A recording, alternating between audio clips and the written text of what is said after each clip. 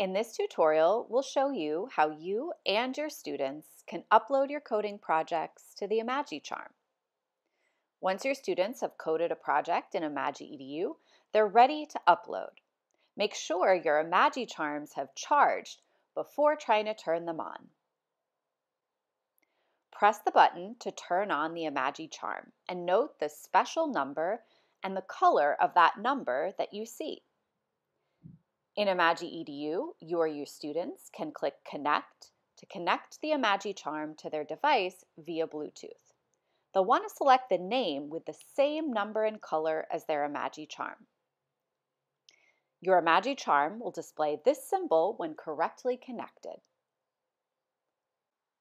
Next, students can select their project, click Upload to the Imagi Charm, and they're done.